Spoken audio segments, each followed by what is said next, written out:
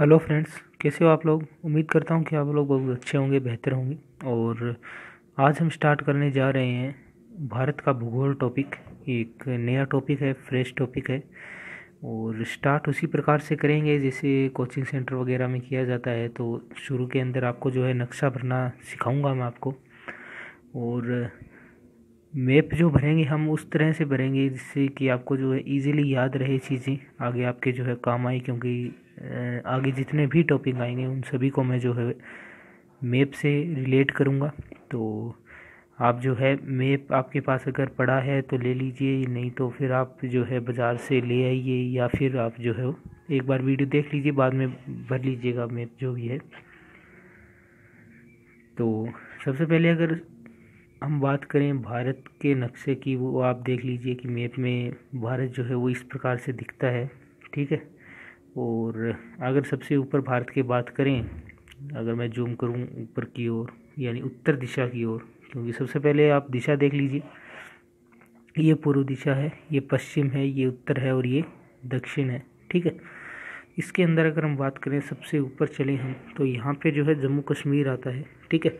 और इसको शायद याद रखना भी इतना मुश्किल नहीं है, क्योंकि जम्मू कश्मीर इम्पोर्टेंट और इम्पोर्टेंट चीज़ को सबसे ऊपर ही रखा जाता है। चाहे हम वन संपदा की दृष्टि से देखें या किसी भी दृष्टि से तो काफ़ी इम्पोर्टेंट है हमारे लिए जम्मू कश्मीर। और जम्मू कश्मीर को जो है वो सबसे ऊपर रखा गया है, इस तरह से आप देख सकते हैं, ठीक है? अब इसके जस्ट नीचे जब हम चलते हैं तो जम्मू कश्मीर के जस्ट नीचे यहाँ पे आप देख सकते हैं पंजाब है, ठीक है?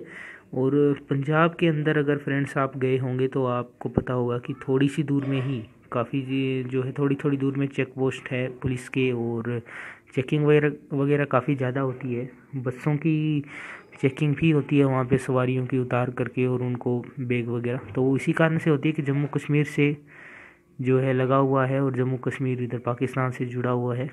तो इस तरह से जो है, आप इसको याद रख सकते हैं कि जम्मू कश्मीर के नीचे, जस्ट नीचे जो है पंजाब है। पंजाब के अगर जस्ट नीचे बात करें तो राजस्थान है। आपको पता होगा कि गंगानगर ज़िला जो है उससे डायरेक्ट जो है मार्ग जाता है पंजाब के लिए तो इस तरह से आप याद रख सकते हैं। पंजाब पंजाब के नीचे राजस्थान है। राजस्थान के जस्ट नीचे जब आप आते हैं, यहाँ पे आपको जो है वो गुजरात दिखाई देगा, ठीक है? और गुजरात के जस्ट नीचे यहाँ पे आपको महाराष्ट्र, काफ़ी बड़ा ज़िला है। इजीली आपको दिख जाएगा मैप के अंदर।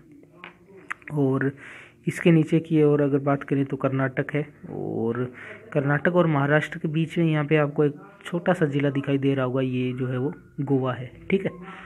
इसके जस्ट नीचे अगर बात करें तो यहाँ पे एक लंबा सा ज़िला, ठीक है? नीचे की ओर केरल और केरल के जस्ट राइट साइड में आपको जो है यहाँ पे तमिलनाडु दिखाई दे रहा होगा, ठीक है? तमिलनाडु के बाद में ऊपर के और हम जब चलें तो यहाँ पे आपको जो है सीमांध्र दिखाई दे रहा होगा, बिल्कुल सीमा पर है। और ये देखिए इस तरह से लंबाई में ज़्यादा फैला हुआ और ये जो इसकी शेप है काफ़ी, ठीक है? इस तरह से। सीमांध्र को क्या है?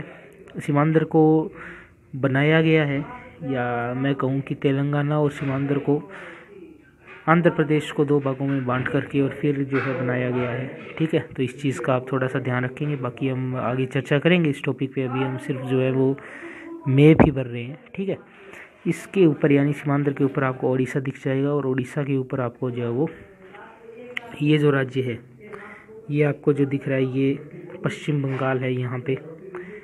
यहाँ पे आपको जो है पश्चिम बंगाल दिख रहा है और काफ़ी जो है इसकी भी ये भी आपको मैप में इजीली दिख जाएगा यहाँ पे इस तरह से जो है ऊपर की ओर। और, और यहाँ पे ये जो राज्य है ये सिक्किम है सिक्किम से मिलता हुआ इस तरह से जो है इसकी शेप है।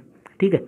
और इसके जस्ट इधर ये भूटान देश है और लेफ़्ट साइड में अगर बात करें तो ये नेपाल देश है, ठीक है? और अगर अब अब इधर आ जाते हैं, यानी पूर्वी क्षेत्र की ओर, ठीक है? तो यहाँ पे आपको जो है छोटे छोटे काफ़ी राज्य दिख जाएँगे, इनके ऊपर इम्पोर्टेंट क्वेश्चन बनते हैं, कुछ वो चर्चा करेंगे बाद में। लेकिन फिर सबसे पहले बात ये, भूटान के साथ में यहाँ पे अरुणाचल प्रदेश है, इसके नीचे ये नागालैंड, फिर मणिपुर, फिर मिजोरम और यहाँ पे त्रिपुरा है, ठीक है? और यहाँ पे अगर आप देखें तो ये जो है वाई शेप में आपको दिख रहा होगा एक राज्य जिसका नाम है असम, ठीक है? और अगर आपको, आप ध्यान से देखें तो आपको ये असम है, ये दूर से ही जो है क्लियर दिख जाता है, ठीक है? तो इसकी जो राजधानी है, असम की राजधानी भी दीसपुर है, ठीक है? तो इस तरह से आप इसको याद रख सकते हैं। इसके अलावा अगर बात करें तो असम के जस्ट आगे आपको ये एक छोटा सा राज्य आगे निकला हुआ दिखाई देता है, ठीक है? त्रिपुरा और इसकी जो राजधानी है, वो है अगरतला, ठीक है? आगे निकला हुआ दिखाई दे रहा है तो राजधानी क्या हो गई? अगरतला हो गई और इजीली बड़ा इजीली याद हो जाएगा, इसी तरह से हमने, हम जो है ट्रिक से याद करेंगे आगे इनकी राजधानियाँ नेक्स्ट पार्ट में या देखेंगे ये वीडियो कितना लंबा बनता है, ठीक है?